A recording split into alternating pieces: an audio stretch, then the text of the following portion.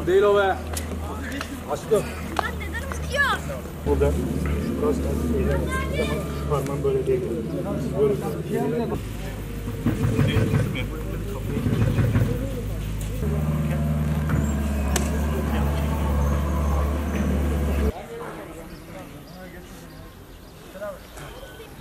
Atakan. Bindir biraz Atakan.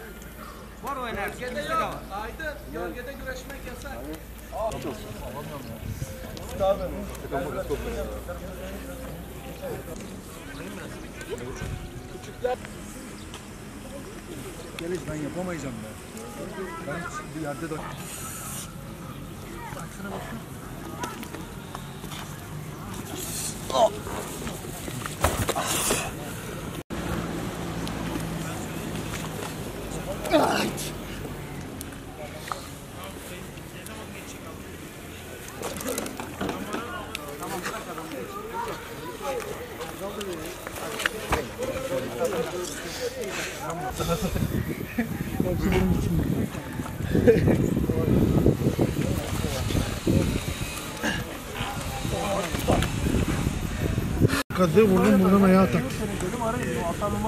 Nasıl sen son? Kanka mesela bu soğuk. Girdi. Soğuk. Soğuk. Buradan paçı. Evet. Bak şimdi. Tamam mı Atakan? Hadi Serkan. Sen yalandan. Ee, malum e, herkesin bildiği gibi pandemi süreci kısıtlamalar azaldıktan sonra e, antrenmanlarımıza başladık. E, Edirne'mizin çeşitli yerlerinde antrenmanlar devam ediyor. Edirne'mizde 5 tane spor kulübümüz var Kırkpınar'a hazırlanan.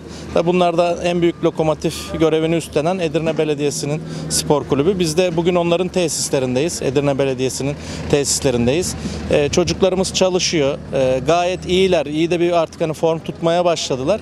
İnşallah Kırkpınar'da e, Edirne madalyasız kalmayacak. Öyle gözüküyor.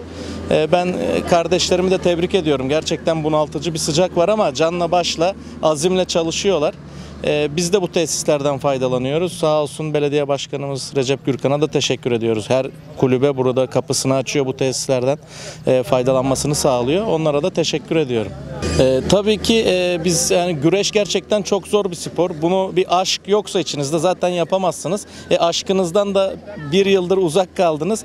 Bütün pehlivanlar bunu aşkla e, bekliyor. Seyirciler öyle. İnşallah seyircilerin de talebi ama az da olsa bir seyirciyle olmasını istiyorlar Kırkpınar'ın ama tabii ki buna kurallar uygun olur mu? Sağlık durumu o günkü işte aşılanma durumları ne olur? Ona göre zaten ilgili kurumlarımız gerekeni yaparlar. İnşallah temenni edecek olursak inşallah e, seyircili bir Kırkpınar yaparız. Hem pehlivanlar hem güreş seyircisi artık özlemle Kırkpınar'ı bekliyor. Bir buçuk yıldan beri biz yağlı güreşe hasret bir durumdayız. Yani güreşlerin her zaman yapılmasını istedik. Kısmet bu seneymiş. İnşallah bundan sonra her her zaman yapılmasını istiyoruz. Ee, pandemi sürecinde antrenmanlarımız çok zorlu geçti.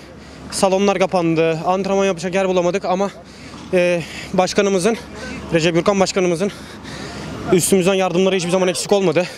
Ya çok şükür işte Edirne Şahin Spor Kulübü, Edirne Belediyesi bir arada güzel bir antrenman süreci geçiriyoruz. Şamil hocam olsun, Yiğit Gider, Gürsel Umut, Serkan Üler, Tansel Umut ustalar eşliğinde güzel de çalışma yapıyoruz.